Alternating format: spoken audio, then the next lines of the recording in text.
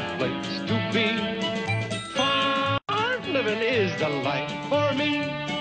Land spreading out so far and wide. Keep Manhattan, just give me that countryside.